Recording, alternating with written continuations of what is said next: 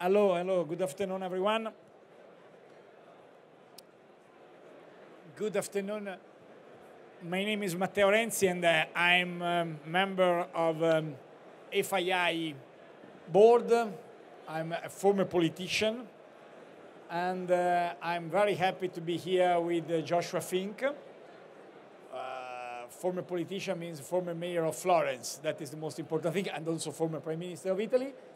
And uh, Josh is uh, one of the most brilliant guys I met. is um, an American guy who tried to invest in one sector who is, uh, in my view, one of the most interesting, with the life science, healthcare, healthcare biotech, and um, similar. So, Joshua, we, we are here to try to give an answer about the relevance of uh, healthcare sector because after pandemic, everyone also in politics understand the importance of healthcare investment. But if we think about the last 20, 25 years, we, we saw how it's important to change our business model and our open mind about healthcare and life science. And I think you try to do in this direction. Why and uh, in what direction? Thank you, Mr. Prime Minister. I think to contextualize the opportunity of healthcare, let's put some numbers around it. Healthcare represents 20% of US GDP and approaching 15% of global GDP. And we're fortunate that we live in an era where there's massive amounts of scientific change that's happening in our lifetime. Let's think back to 23 years ago. We couldn't sequence the human genome. Now we can. The cost has gone down by 99% over that period. You have Jennifer Doudna winning the Nobel Prize uh, for utilizing CRISPR. You have a researcher in Kyoto University winning the Nobel Prize for saying you could take any cell in the human body and reverse back its molecular clock, opening up a whole window for rejuvenative medicine, let alone data. Our ability to collect huge amounts of data in a medical and at home setting, our ability to analyze that data using AI and machine learning, so we stand at the precipice of a revolution. We stand at the precipice where human healthcare outcomes over the next decade can be dramatically, dramatically changed. When I go to my doctor's office in New York, of course I have a digital health record, but when I'm sitting on that doctor's bench, that doctor is doing largely, no discredit to him, he's a great doctor, but he's doing almost all the same things to me, the same analysis, the same diagnostics, as he did 15 years ago. That will all change over the next 10, 15 years. This will create huge amounts of enterprise value and opportunity for those investors here in the room. It'll create huge development opportunities for nations such as Saudi Arabia, and most importantly, the mission and the impact on human health outcomes, on extending longevity, on improving human, uh, human health, health outcomes. Uh, the impact is huge. And at the end of the day, back to governments, Matteo, this is really something that governments need to get their heads around because governments are responsible, ultimately, for roughly 95% of all healthcare bills globally. So governments need to stay on top of the science. Governments, like what is being done here in Saudi Arabia, need to work to bring not just top quality therapeutics, diagnostics, and devices, but bring the supply chain here. Manufacture here in Saudi Arabia, which is being done. Help medical tourism here in Saudi Arabia. As we know, one of the biggest bottlenecks in drug development is human trials. Bring human trials for cutting edge therapies here to Saudi Arabia. Help the population get better. Help advance these medicines and bring them to market cheaper, faster, better. This is a huge way that governments, it's a huge way that Saudi Arabia can be a real leader here in this revolution that is upon us. That is very interesting. Also because I speak as a politician, we have a problem when we discuss about healthcare and investment in the future as politician. There is here an Italian guy who is my friend uh, Maurizio, who knows very well how it's easy for politicians, particularly in Europe, to think only about day by day. you have a generation of leaders who really are not leaders, are followers. They think only to the thing important for the result. And so healthcare is for, by the way, is normal, the most difficult things to invest because healthcare means to think about next generations. But politicians, particularly in the Western societies, think about next elections, not next generations. And next elections are not in two generations, but in two years. When you think about next election, you are lucky, because there are also a part of leaders who think only about the next post, next tweet, and there is a votation every day, election every day, with the number of likes you receive on Instagram, number of likes you receive on Twitter, on Facebook, on LinkedIn. That is a problem because the people don't look about the future. So, just to make an example for my experience, and then I have a question for Josh.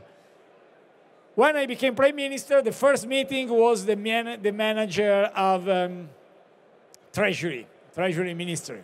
They arrived in my office and they told me, Prime Minister, and I asked them, please give me the numbers of budget because I came from a, a little experience in my city. So I was very strong and uh, committed to check every single number, every single number of budget. So I check, check, check, check. And when I finished the discussion, the manager of uh, Treasury told me, we have a problem. I'm Italian Prime Minister. If I have only one problem of budget, I'm happy. It's impossible one problem. Our problem is in Italy, we live too much. Because it's true. We are the number two in the ranking in terms of expectation of life after Japan. That means with the crisis of demography, we have a problem, and the first message from the manager of Treasury is we have a problem for pensions. But really, that is not our first problem, because we have the problem of pensions, of course, by the way. But we have more complicated a problem in healthcare, because we have a crisis of demography, we reduced the population. When I was born in uh, 75, in Italy, 1.1 million babies born. Now, last year, less than 0.4 million babies. This is not a decline. This is a collapse of demography. That means we changed totally, deeply, the level of medicine. And for that, I think uh, finance have to understand how is important uh, invest in new technologies. Because new technology, as Jamie Dimon uh, said very clearly in the uh, roundtable about the new compass, only technologies could save, not demography, not order. So why you decide to invest and why you have a particular model, business model in your initiative, uh, Joshua? Well, Matteo, I think you bring up two things that I want to reflect on. The first is the role, and this is not talked about much because it's not politically popular to do so, but the role, the, the essential role that government has to fund non-applied science, not just in biology, but in chemistry, in physics, across science. And this is very hard for politicians across the Western world because the benefits generally are not seen in one's political cycle, let alone in one's lifetime.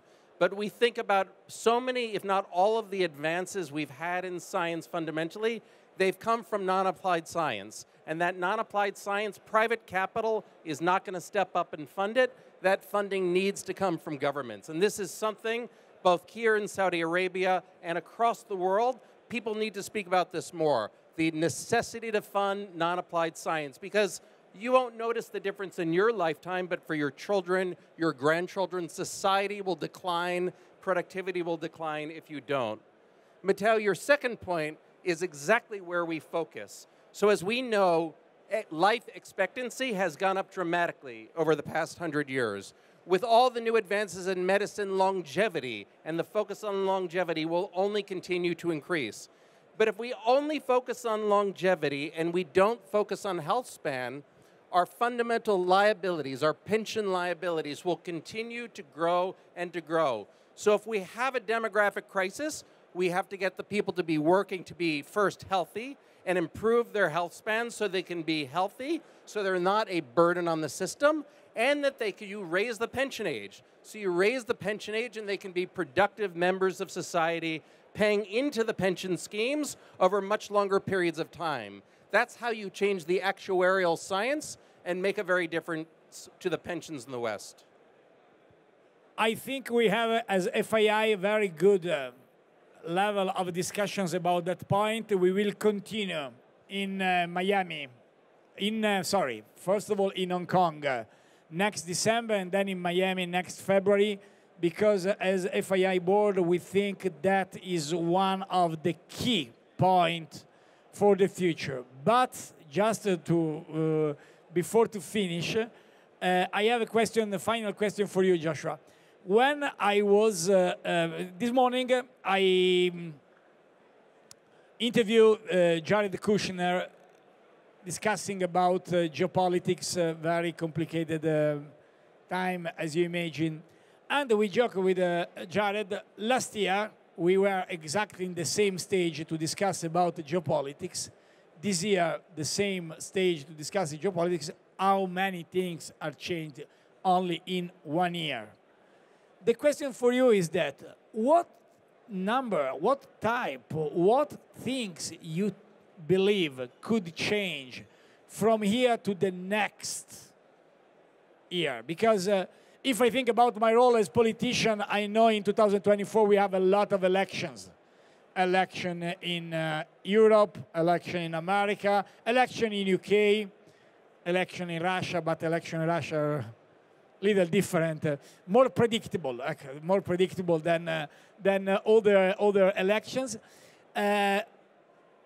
we will have a great number of news from here to the next year. And in your sector, what you expect from today to the next year in that sector?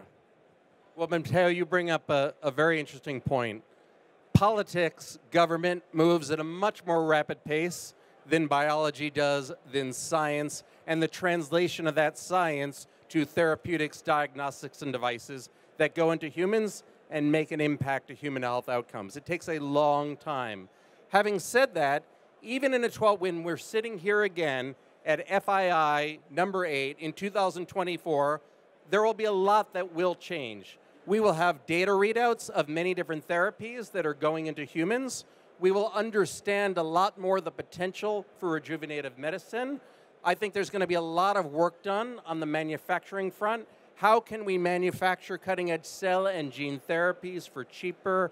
How can countries like Saudi Arabia, there's an announcement with, with a particular company, start to work to manufacture vaccines to be resilient for vaccines here in Saudi Arabia? I think we're going to get kind of a lot of developments as it relates to AI and generative uh, AI and the application to drug discovery, the application to imaging analysis, the application to development, the application to manufacturing. So even though biology and the development of things that make differences to human outcomes take a long time, there are so many companies working on this space. We're going to get so much in the way of data readouts. We're going to be so much better informed. And in the process, many companies will do very well. There'll be a lot of enterprise value created in certain areas from now over the next 12 months and a lot of value destruction. And it really comes down to three things. It comes down to excellent science, it comes down to excellent operations, the ability to take that science and translate it into something commercial, and it comes down to really having a regulatory regime and regulatory pathways that allow that science and allow that translation to be able to effectively go into humans and make a difference. So, we achieve a half miracle because for the first time in the Italian history, an Italian guy finished on time. and look there and started on time. I, I, I seem Swiss. That is, but that is thanks to Joshua. I think uh, that point will be a point in which, as a FII, will continue to work. Thank you so much to everyone. Thank you all so much. Thank you.